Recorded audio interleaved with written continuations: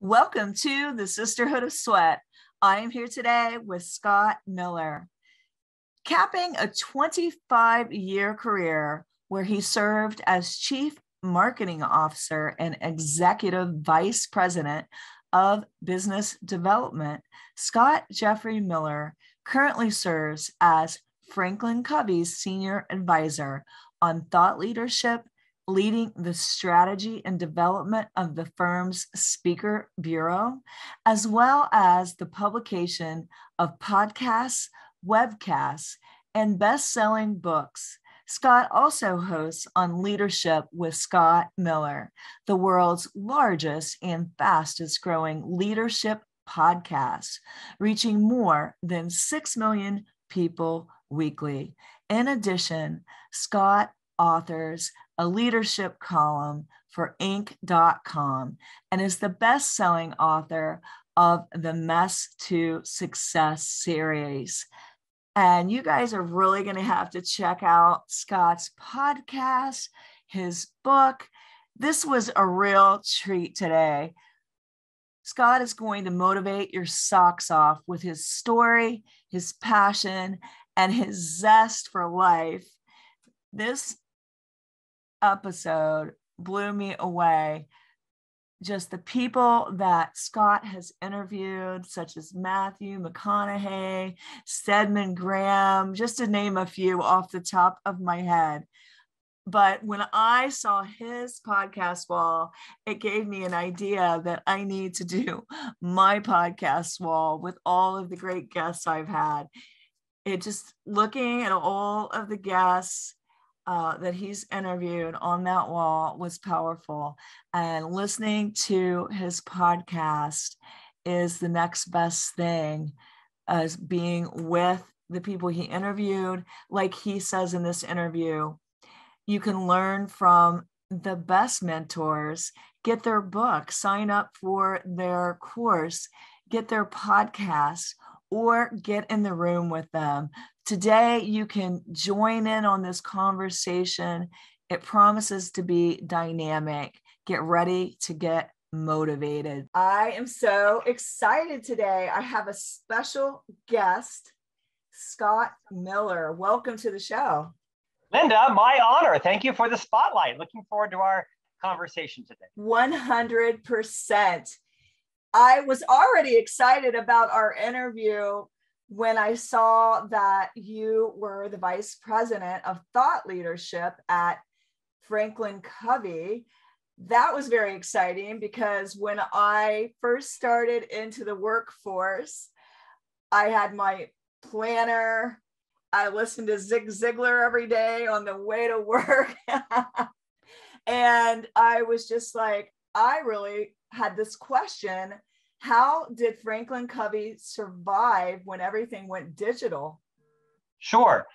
It's a great question. So, you know, we were at one point in history the largest leadership consulting company in the world and also the largest time management planning company in the world.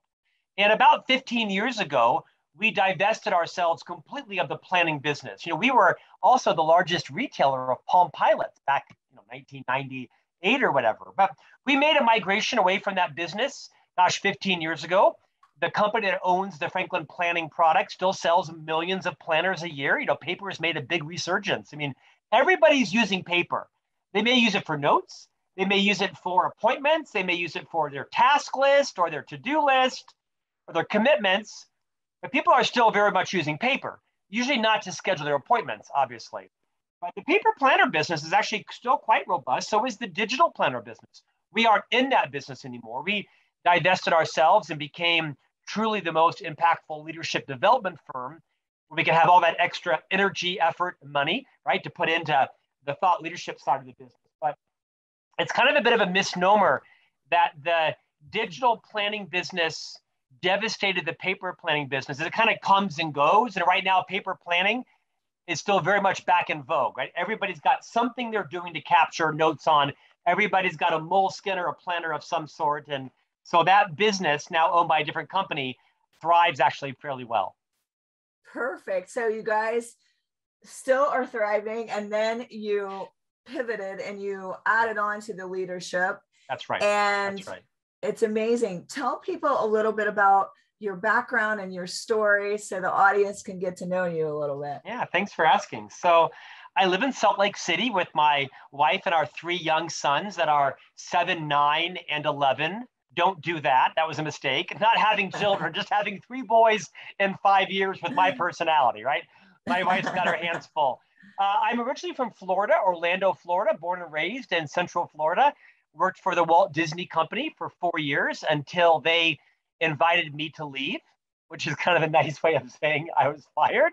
So here I am, 26 years old. Where does a single Catholic boy from Orlando move? Well, of course, to Provo, Utah, where all the Catholics are, right? That's a joke. There's no Catholics in Yeah, I Utah know, 25 I years ago, right? So I joined the Franklin Covey Company at the invitation of Dr. Stephen R. Covey, of course, the co-founder of our business and the author of the incomparable book, The Seven Habits of Highly Effective People. Uh, we literally started in the front line and worked my way up to the C-suite, where I was the chief marketing officer for a decade and the executive vice president of thought leadership.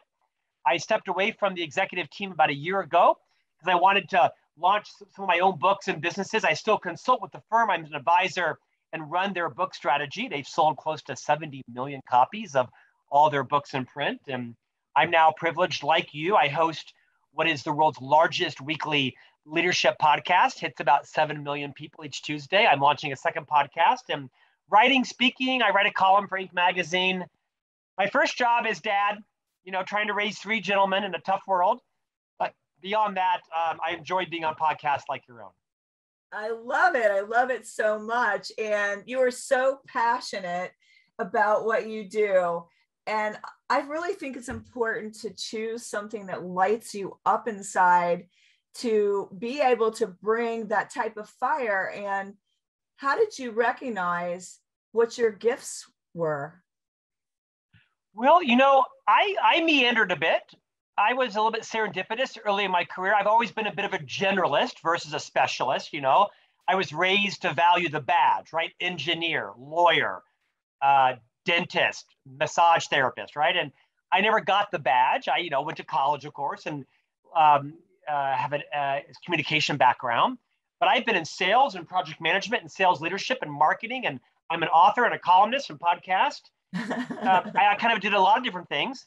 I will tell you though, I don't think it was until my late 40s, Linda, that I really found my voice. Now, I was competent in sales and I was a competent chief marketing officer, I was a competent sales leader. But in terms of finding my voice as an author and a podcast host, that didn't come to my late 40s, which I think happens often for generalists, specialists find their voice in their 20s, right? They graduate with a law degree or an engineering degree and they rarely pivot. I don't know a lot of engineers that become gardeners. I don't know a lot of airline pilots that become realtors, right? I mean, they stake their claim and they go for it. And that would have been boring to me, quite frankly. But I'll give hope to your listeners that perhaps are my age. I don't think I really discovered my voice until my late 40s. And I'm delighted I did. It's working out fairly well, and we'll see what the future looks like. Wow. Oh, wow. So many questions for you today. So, Bring them on. Bring them on. how did you discover your voice and how can other people discover their voices? Yeah. Yeah. So I wrote a book recently called Master Mentors 30 Transformative Insights from Our Greatest Minds. It's a book based on the podcast. I picked 30 of my favorite interviews and I wrote a chapter about 30 people with their permission. The last mentor is a man named Eric Barker. He wrote a famous book called Barking Up the Wrong Tree. He's not, he's I not well love known. That. I love It's a that. good, it's a great book. You know, he dispels all these myths like nice guys, you know, finish last and early birds get the worm. And he takes a lot of, you know, bunk science and kind of debunks it. And he said something on the podcast, Linda, that was profound. He said, you know, everyone should know the power of their story. And I thought, the power of your story, that kind of sounds like Reiki and poetry, great for other people, but not kind of my jam, you know? And then the very next day, I'm preparing to interview Viola Davis, the famous actor, you know, and, and um, producer, director. She said the same thing.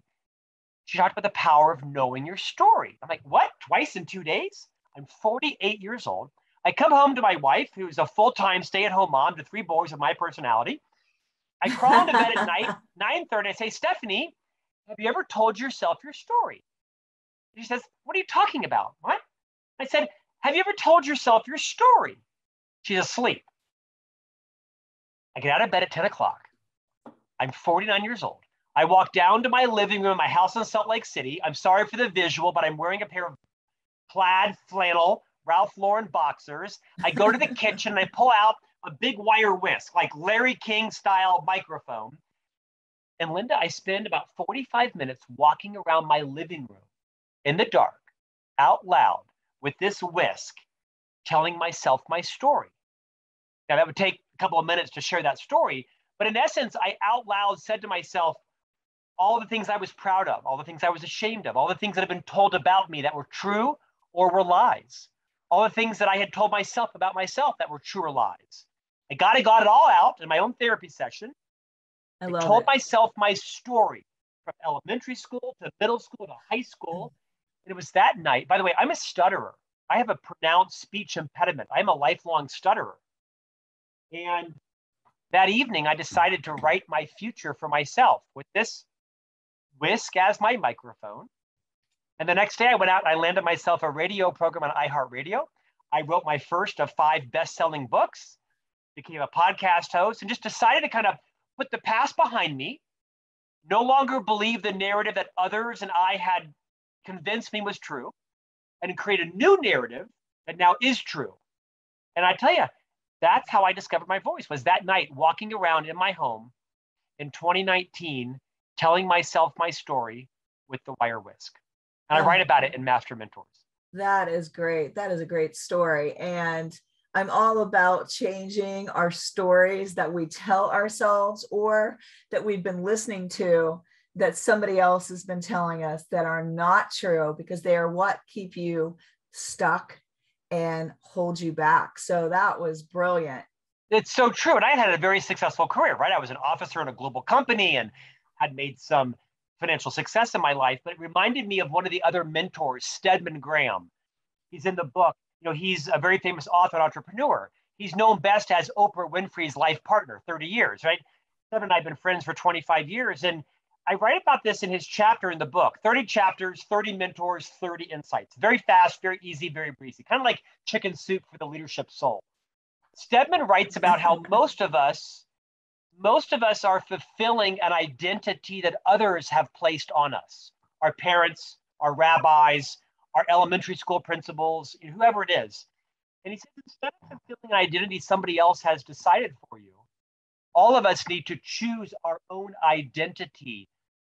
And it's so subtle, it's profound. I don't know that I had chosen my identity, who I wanted to be, until my late 40s. Until that night, I walked around my living room in my boxer shorts and told myself my story out loud. And fortunately, it was 49 and not 59 or 69 or never nine, right? And so I would encourage people pick up a wire whisk, pick up a spatula, a wooden spoon, whatever it is, wear whatever you want.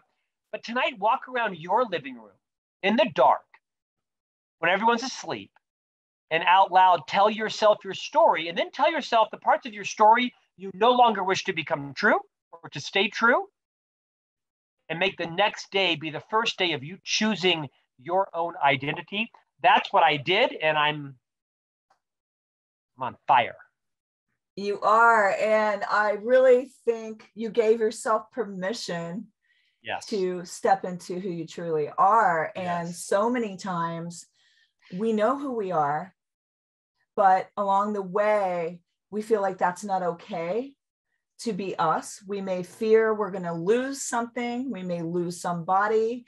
Uh, we worry about what people think. And I think a lot of the times people do know who they are, but how do we get the courage then to step into it and realize that, yeah, you may lose some things, but maybe there's some things you need to lose? You know, I think you just said it the best, which is stop caring so much about what other people think about you. My wife, who is eminently qualified and educated, chooses to be a stay at home mom. She's 13 years younger than I am. We have three boys, like I said. And my wife is in her early 40s and she is quite still, um, I'm going to use the word afflicted with what others care about her. You know, yeah, I don't know how old you are. I'm sure I'm older than you are, but you know, you hit a certain age. You hit uh-uh. a certain age. I got you. Hands well, You're down. looking good, girl. You're looking thanks, good. Thanks. um, you hit a certain age where you start to like literally not care what other people think about you. That doesn't mean you always say what's on your mind. It doesn't mean you, you know, you, you know, run around naked in the streets, right? But you just, you, you, you're less enslaved to the social mirror. You care less about what people think about you. You do care what some people think about you, those who are most important to you, right? Perhaps your spouse or your parents or your children or your best friends, those who love you unconditionally. I think you have to first release yourself from the victimhood of caring so much about what everyone will think.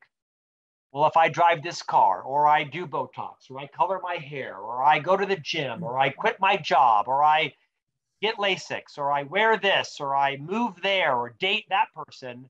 For me, it was 50. It was honestly kind of hitting 50 and realized I'd lived most of my life fixated on what other people thought about me.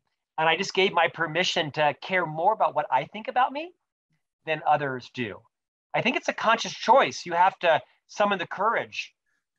And my gift to all of your listeners and viewers is make that choice sooner than later. Don't wait till 50. Don't wait till 60. That doesn't mean you disregard social norms and, and manners and graces, right? Things like that. Um, but I've given my permission, I've given myself, Linda, permission to care more about what I think of me than anybody else. And that is beautiful. So beautiful. Because so many times I think people are thinking that it's going to rain down from the sky and manna from heaven is going to drop and the angels are singing, ah, you know, that they are waiting for that moment and they don't realize that they're already in it and they're waiting for some type of permission from somebody. And it really is internal, it really does come from within. They are waiting for permission from someone. They are that someone. That's right. I love that so much. And when we are in this, like where you said you gave yourself permission, I, I like to think to the end of my life, how am I going to feel when it's done? I want to look back without regret I want I know that I own my own life because nobody is going with me when I go. I'm going alone. And so why should they influence my decisions every single day if I am going alone when it's time to go? How'd and, you get how'd you get so smart? What happened in your what happened in your life? What oh happened oh, in your life? Oh my gosh, so much, so much. But this is about you today. Darn. I would love to tell you on I like to podcast. interview other people. I know. Uh, I just I've been telling my story so much. I just really want to dive into yours today. All right, all right. I'm still interested though. Oh my gosh. Well, it's a story worth telling. And I will tell you, I would love to come on your show. Well, thank you. That's very gracious of you. I'll have our team reach out to you. Perfect. Now, is it bad that as I'm sitting back watching your master mentors, I am ready to select your next ones for your next project because I'm well, like, oh, be, I'm like, does he be, know about this person and this person? Yes. the, these, this is these books behind me came in this week. It's Thursday, right? We're taping this, so I mean, uh, we are we tape about five months out, as you probably can relate. Uh, and so right now we're um, we're booking guests for five months from now. Just that's kind of how it happens, right? Because of we're we're very blessed with the level of people that want to come on the podcast now. Um, and you know, right? I mean, it takes some time. It took us three years to get to this point and 200 episodes. And I'm launching a new podcast called C Suite Conversations with Scott Miller, where I'm interviewing people from the C suite aimed at people in the C suite, including entrepreneurs and solopreneurs. So I just doubled my podcast workload and books I'm going to be reading. I mean, I just got to be, I, I wouldn't be worth my grain of salt here today if I didn't I, I have an autograph. Jay Shetty's coming on. Jay. Jay Shetty is coming on. Um, and I see Jack Canfield. I've interviewed Jack Canfield and I've interviewed Marie Forleo. Yes. Way, I think Marie Forleo has the best book cover. Hold that up again. Hold that up. I think she has the best book cover like in the history of books. I love Marie Forleo. We have spoken on stage together. That book is extraordinary. I love this book. Love, love, love this book. I love Marie. Yeah. Um, and I, I love all the people you've had on. I just pulled a few books off the shelf before we started because I was like, oh my gosh.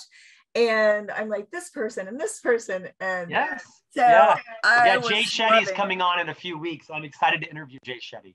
Yes, that's so amazing. And isn't it exciting to surround yourself with people that have plugged in and giving themselves they have given themselves permission to show up and make an impact and a difference in the world. And what do you find in common with yeah. all of these thought leaders? What are some of the, the things that you see uh, that you find they all possess or somewhat have? I love that you asked this question. And you may not like my answer, but my answer is very resolute. I was asked this question on a podcast a few weeks ago, and the host took quite offense at it. Like he dragged it out for like 20 minutes, but I held my own because I believe what I what I am going to say now. I think one of the many things that they all have in common. These are big guests, you know, Doris Kearns Goodwin, the Pulitzer mm-hmm. Prize winning author, General McChrystal, Seth Godin, Dan Pink, Matthew McConaughey, Jay Shetty, right? You know, Marie Forleo, Rachel Hollis. It's work ethic. These people work hard. When I said this to this other podcast host, he said, you know, I'm kind of offended at that. He said, You mean to tell me all my dad had to do in the 30 years he sold vegetables out of the back of his truck was work harder?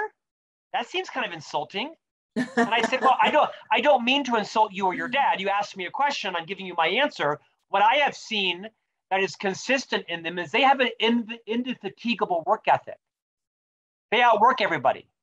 Is Marie Forleo smarter than me? I don't think so. Is Jay Shetty Smarter than me? I don't think so. More handsome than me, but he's not smarter than me.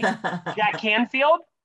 These people work hard. Jack Canfield has sold 500 million copies of the Chicken Soup for the Soul series. Do that math, right? You know, do that math. Yet he is out every day hosting radio programs, podcasting, speaking, certifying people in his programs. Jack Canfield does not need any more money. And uh, just do the royalty math on, you know, 500,000 copies with his his partner. Do you think he feels like it's work though? I feel like he thinks it's a calling.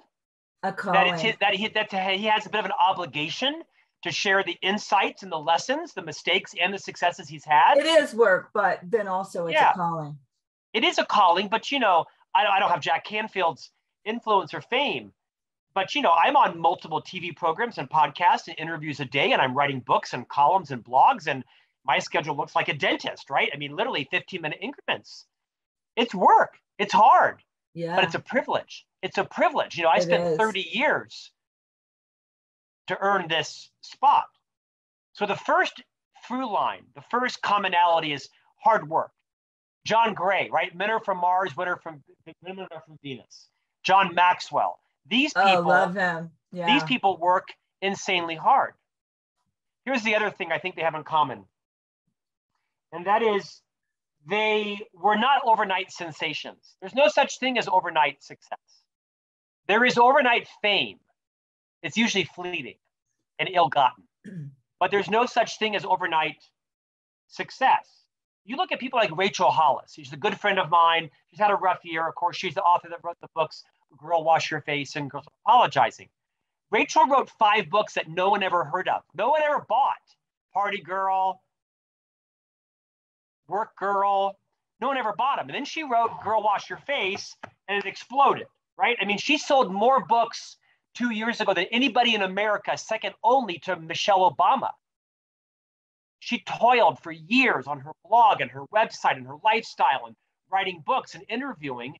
And at some point, it hit an inflection point. The same thing with all these people. Jay Shetty didn't burst on the scene. He went became a monk for how many years, right? And he wrote and he blogged and he listened and he learned.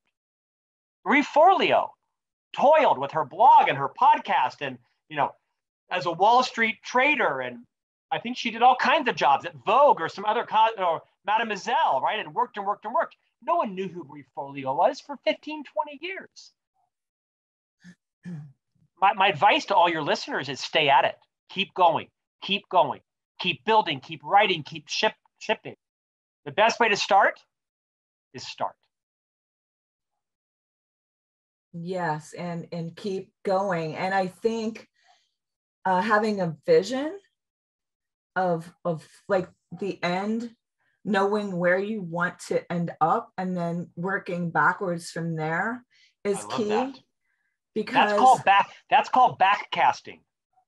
Most people forecast right? They say i want to go here so i'll do this next but what you're describing is called backcasting. It's having an end in mind and then figuring out okay if i'm going to go accomplish that what has to happen before that and before that and before that and before that and what are all the things i need to learn on my way to that? I love that idea linda of backcasting. It's rare but it's common to people who are wildly successful. Yeah uh, because i think being having a vision is what keeps you going when things are you know you start out maybe scrappy and small and the things you're doing will be stories later you know. You I, I mean just the crazy things that i used to have to do to put food on the table for my two kids it was called pl parking lot okay i'm chasing people down in the parking lot to sell them a gym membership wow and i'm just saying yeah. Uh, to be where I am right now versus where I started, I had to be scrappy and I had to be determined. And look at the success you've accomplished as a result. Can I share a quick story to complement that? So I interviewed this woman on the podcast. Her name is Tiffany Aliche. She wrote a book called Get Good with Money. She's kind of like, you know, the modern day Suze Orman, right? And, and uh, African American woman. She's known as the Budgetnista. And this book has done extraordinarily well, been out for a year, has close to 6,000 reviews on Amazon. I mean, that's amazing. Uh, Tiffany was a school teacher, and she started out 15 years ago writing a blog and a newsletter and a little podcast. And she built this massive machine that no one knew about. I didn't know who Tiffany Aliche was nine months ago. Her book has sold tens of thousands of copies, more than my books have sold. And Tiffany is not an overnight sensation. Tiffany toiled for 13, 14 years building her database, writing newsletters, posting blogs, learning her lessons. And she's a perfect example of the, of the adage that there's no such thing as overnight success. It, it, you name every person on my podcast, and I'll tell you the 10, 15 years it took for them to come into their own, sometimes more, including Matthew McConaughey, and other major people that you have no idea the number of TV shows they tried out for and didn't get. Matthew McConaughey will tell you the time of day, the time of day when he went from being completely invisible to the entire world learning about him. He was standing on the Santa Monica Pier when A Time to Kill was released, and he went from completely invisible to one of the most famous people in the world in like one minute but no one sees all that happened before that. Decades, right, of working and struggles and triumphs and setbacks. And he's a great example of one of the hardest working people in showbiz. Oh my, I love that story so much. And I, I totally echo that. I've been 30 years in the making to be where I am right now. And yeah. it is it is hard work it is work ethic it is showing up for what you yes. want yes and asking for help right people can't yes. help you like look at you you were bold enough to ask could you come on our podcast you have to add. people can't help you if you don't ask for help people can't help you if they don't know you need help I, here's a good example um, do you know who david neeleman is he's the founder of jetblue he founded the jetblue airways and he went on to found, found a couple of other uh, major airlines, right? Multi, multi millionaire, one of the most famous entrepreneurs in America, um, David Neeleman. I thought, you know, I want to interview him. It's like one of the biggest, you know, billionaire entrepreneurs in the country. I call up a friend who happens to be a Stanford professor. I say, hey, you know David Neeleman. Would he, would he be interviewed? Within two minutes, I'm on a text stream with this other friend of mine and David Neeleman booking him for the podcast. In two minutes, I'm booking David Neeleman because I had the guts to reach out. I don't know David Neeleman. I don't have a billion dollars. I don't even fly JetBlue that often, quite frankly. I'm a Delta guy. Don't tell them that. But you have you. Everybody's got an email. Everybody's got an Instagram account. Everybody's got a LinkedIn, and everybody is just like you and I. At 9:30 at night, they're in bed watching International House Hunters, and they're on their Instagram and their email, and everybody is willing to help somebody else. They mm-hmm. just need to know how they can help you. So put aside your fears, put aside your worries, reach out and ask for help. People cannot help you if they don't know you need help or know how to help you. And you you said the magic words, and I was just on Forbes Riley show yesterday on her radio show, and we were talking about this. She asked me, "What did I think was the secret to manifestation?" And I said, "Ask and you shall receive." Yes. You you got to ask. You've got to know what you want, and you need to speak it out into the universe. That is how everything good has happened in my life. Amen. Hallelujah. this is a story of my life. I've been chasing the Hollywood producer Brian Grazer. He's the guy with the funky hair that's Ron Howard's partner in Imagine Entertainment. He wrote a book called A Curious Mind. I love this book. I've been chasing Brian Grazer for like three years being the podcast. I don't know him. I don't even watch a lot of movies. I just, I like his work and I like this book he wrote. Haven't heard from Brian Grazer in a year. A week ago, an email pops in my inbox from Brian Grazer saying, Hey, I hear you want to interview me. I've been really busy. My, my agent keeps saying no, but you've been persistent. Okay, I'll come on. Tell me about it. I'm, I'm going to crush this interview with Brian Grazer. A year and a half after I've been chasing him out of the blue, here's an email from Brian Grazer. And everything I'm doing, Linda, probably like you, every lunch I have now came from a connection, from, an, uh, from a network. Business opportunities are coming out of the woodwork because I make and keep commitments. Like you said, I have a vision. I have a reputation of being trustworthy. I do what I say I'm going to do. And I'm not afraid to ask people to help me out. So, so good. Those and I am there great. for them when yes. they need help as well. Oh, right. You're supporting them. And it's right. not all about what can you do for me? That's right. What can I get from you? That, you know, a lot That's of right. times I think people see someone that's successful and they don't understand, like what you said, the work, the work. You got to do the reps, and they want to be where that person is. And they think somehow if they latch onto them like a leech, that that's yeah, going to be yeah. their ticket and that's the fastest ticket not to achieve what you want. Well except for my case of stalking brian grazer for three years right? Oh well okay uh, yeah i could say I, have done a little bit but you know what? Brian grazer will get some get some traction from 7 million people listening to his interview not too shabby right? He can pitch his next movie there. I mean i will say uh, have you read the third door by alex banayan no, but should I be ordering this book right now? Yes, you've got to. He is like one of the most dynamic speakers I have ever heard, and I've heard a lot. Uh, and I was just like, I don't know, he liked something of mine on Instagram. I didn't know who he was at all. I go to look and see who he is, and then I'm like, what's the third door? And I began reading the book, and I'm like, oh, this is how I've done everything in my life. I don't go in the front door, I go in the third door. There you go. Well, I meet him. I meet him. It's great book, and I meet Alex Banayan. Yeah, Banayan. Um, Banayan. I've got to get him interviewed. You got yeah. it, girl. Thank you for the tip. Thank you. See,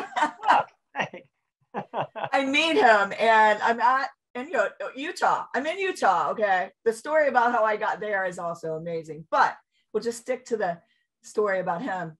Uh, I'm overwhelmed because I just found out about him. I just read his book, and there he is. I'm in the VIP section, and he's in my face for an hour telling his story. And so I bump into him in the hallway, and I swear I was like fangirling, stammering, you know, the whole thing. And uh, I was embarrassed of myself a little. and so when I'm sitting and listening to his talk, and he tells about how he hid, hid under a tree and almost got arrested following um, it was either Bill Gates, Mark Zuckerberg, or somebody really famous. I thought, okay, I didn't get arrested. And I thought, you know what? If you can't go in the first door or the third door, you got to make your own door. I love the tip. Thank you for turning me on to this. I'd not heard this book. I'm going to order a copy today and see if I can get connected to him. Thank you for that. Well, anyway, I think you'll like him a lot. I won't mention you, or should I? Which is it good or bad? you can mention me, sure. Go ahead. Okay, thank you. Thank you. I don't know Linda. Linda sent me. but uh, let me just say, he's a lot like you, and his book is a lot of interviews of mentors, and yeah. we all need mentors, but they're so easily accessible if you just what listen to a podcast, get a book all these things. Now, how did you come up with this idea? Because I think it's brilliant. I love the whole premise of master mentors. Well, I think you and I are cut from the same cloth in a lot of ways because mentoring needs to be transformed. You know, you don't have to have met your mentor. It doesn't have to be the CFO on the fourth floor or the entrepreneur down the street. Most of my mentors, Linda, don't even know I'm alive right? They're people that I've been reading their books for decades or watching their TV program or listening to their radio program for decades, and I learned so much from them. Most of my mentors don't even know my name. Now, that doesn't mean you shouldn't have a formal mentor. I, I like the idea of having a formal mentor where you say, hey, will you mentor me for a couple of months or weeks or Fridays on this or that or the other? That's great. And be a mentor to other people. That's equally as great. But like you just said, these people I'd never met before they were on my podcast. You know, some of them I had, but most of them I hadn't met before. We've become, in most cases, very good friends now, and and in some cases have businesses going together. But hmm. I wanted to add some access to what they said that was profound, oftentimes off the air. You, know, you get McConaughey on the phone, it's a podcast, and he stays around for 10 minutes. He says, Why don't you say that on the air? That was genius, Matthew, right? So with their permission, I wrote a story about each of them and I shared one idea per mentor. I'm writing 10 books in this series. So, Master Mentors Volume 2 comes out in 2022 with 30 new mentors. There'll be eight more in the series for a total of 300 mentors when I'm done with it. But I'm glad you teed this up because you don't have to know famous people to have great mentors. You just have to listen to their podcast or their radio programs or their TV programs. I mean, Oprah Winfrey's been a huge mentor to me. I'm guessing she doesn't know who I am, although I'm good friends with her husband or partner. but I think you can you can absorb mentorship in so many different ways, including in reading my book, Master Mentors. And don't you almost feel like when you are listening to your mentors and you're absorbing them, you feel like you know them, right? And and and, and kind of a scary way because yeah. when you meet them, you're like, oh yeah, we're good friends, and they're thinking like, who the heck are you? Like, oh, I bet I know all about you. Like, I didn't know who you are, so you have to be careful sometimes that you don't come on too strong because you know, with as I have gained some influence and people might see me as a mentor to them. I'll have people come to the airport and they'll scream, Scott Miller, right? I'm like, oh. and they they know me very well, and it's a huge honor. And I try my best to sign every book and to hug every person. I'm not, you know, by any stretch of have any fame, but I'm honored that someone would consider me to be their mentor, formal or informal. I love that. And and also you are a speaker, you're in charge of podcasts, you you write some stuff going on. You got some stuff going on. And I know you've learned a thing or two. What do you think makes well, first of all, why did you choose the mentors that you have in your book over other mentors? What was the secret sauce? You know, it's interesting. Uh, the book is actually quite episodic. You know, there's 30 mentors on 30 different topics. I actually pitched it to one of my publishers that wrote my Mess to Success series behind me, the Green and Blue books, and they passed on it because they said it was too episodic. Like, like that's the point it's like Reader's Digest, right? Different stories and things. So I took it to HarperCollins. They loved it. And I, I, I intentionally wrote it with different points of view. I interview one of the world's most famous psychiatrists on brain health, and I interview uh, uh, Seth Godin on being fearless versus reckless, and Dan Pink on your peak, your trough, and your recovery. Donald Miller on marketing and messaging, and Nancy Duarte on presentations. So I picked them because they kind of hit me right where I needed it in my life. And I think this book is a collection of great, insightful stories, transformative stories that will hit people differently. Whether you are an entrepreneur, you've lost someone you love, you've just come out of a, a marriage, whether you're just promoted to be a leader, whether you're thinking of launching a side hustle, whether you are writing your own book. It is, it, I picked people, some with massive fame and others that no one's ever heard of. Right. You had to be a, you had to be a guest on the podcast to qualify. Everybody agreed to be featured. They edited their chapters. Some some didn't care. Some said, Scott, I love you. I trust you. Rock and roll. Others, you know, like comma here, that kind of stuff. But I picked them because I thought they had a transformational insight that was in most cases fairly easy to adapt or adopt in the reader's life. The book has done very well. Um, it, you know, I, some of the some of the people like Stephanie McMahon, right, the chief brand officer for WWE. I don't watch wrestling. I know nothing about wrestling. She's a very famous star. Her father is Vince McMahon. She's a you know a, a, a diva on TV, but she is so unlike her TV personality. Just thoughtful, smart, and endearing, and understands culture. Deeply understands leadership. Like this woman that's married to a famous wrestler and she's on TV all the time. I saw her on the on the TV program Undercover Boss. I'm in a hotel room in Kentucky. I never watch Undercover Boss. I watch it. She's the boss, Stephanie McMahon from w, World Wrestling Entertainment. Fell in love with her on this TV persona.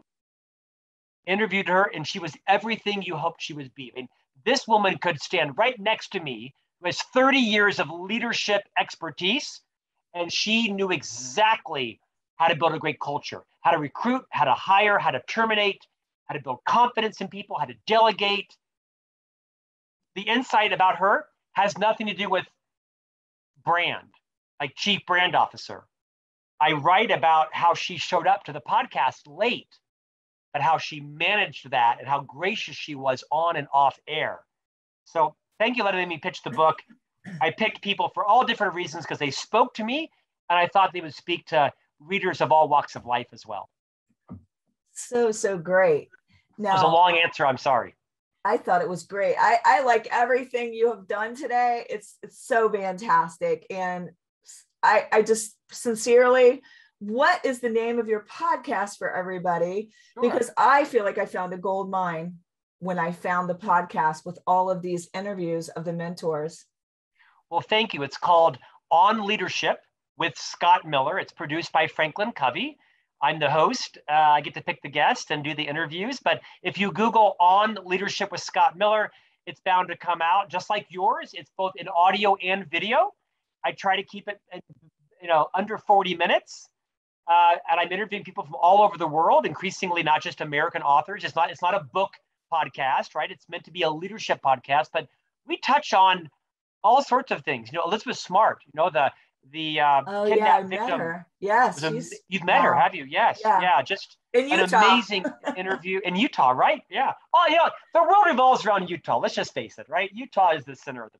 Can I just say, I was at Powerful You, and she is telling her story, and I have to hurry up and catch a plane. I I almost was late because I was listening to her, and as I'm walking, I'm like, are those? Wait, I wait. Is this where she was?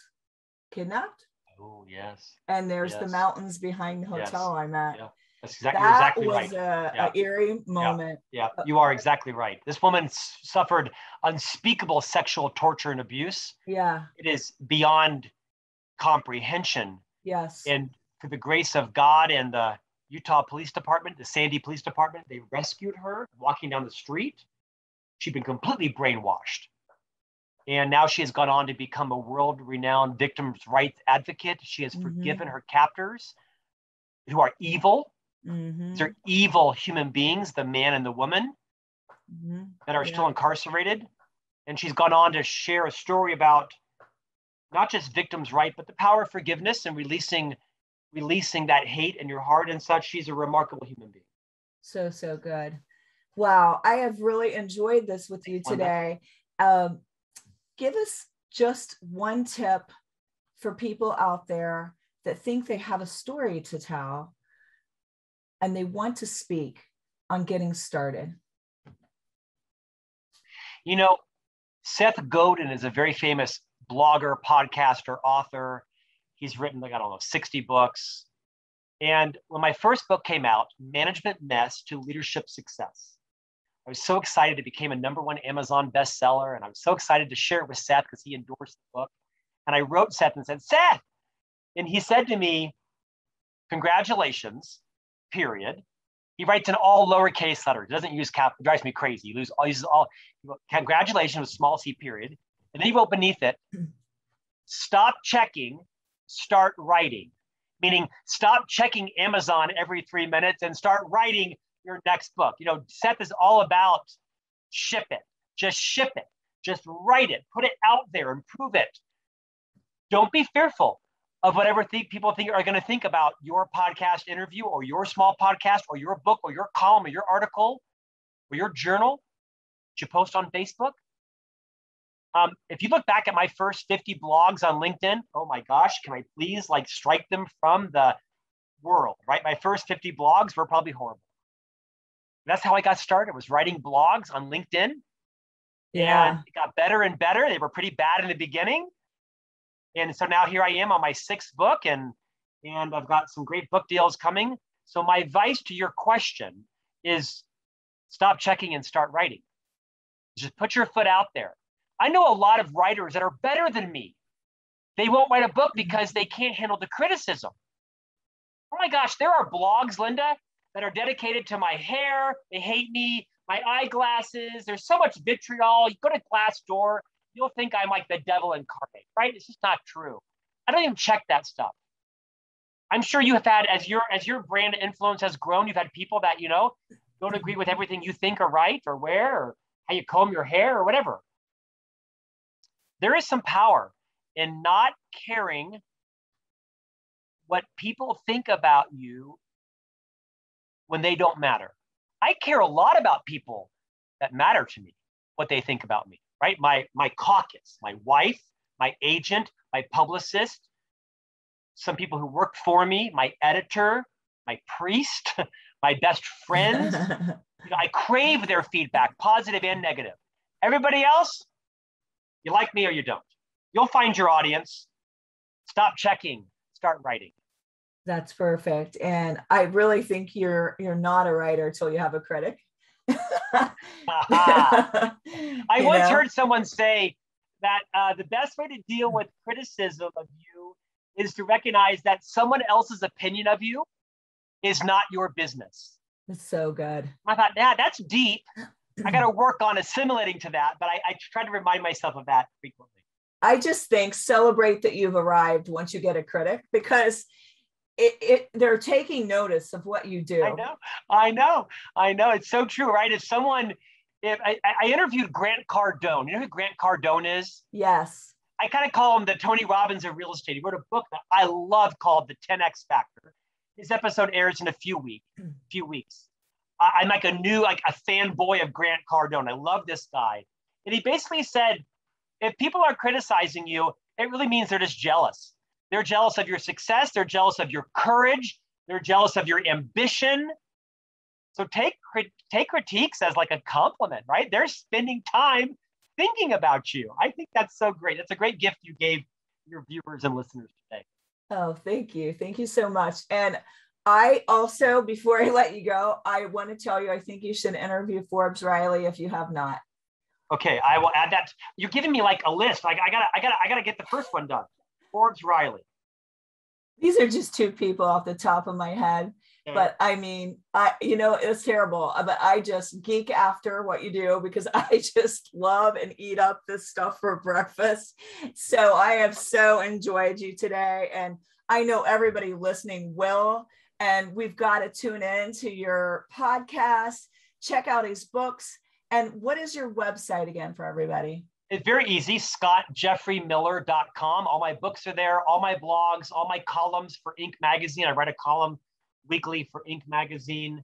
Everything is there. And you're welcome to follow me or connect or friend me on Facebook, Instagram, YouTube, LinkedIn. Starting in January, I'll be on TikTok every week. So uh, thank you for the spotlight and the platform, Linda. You are the essence of what Dr. Stephen R. Covey called someone having an abundance mentality.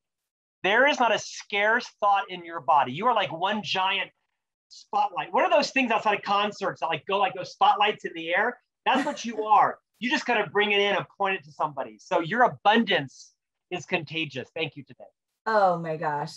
Thank you so much. And, and again, I just want to acknowledge you because you're so passionate about what you do.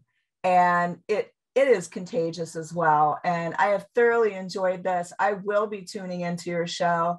And again, thank you from the bottom of my heart.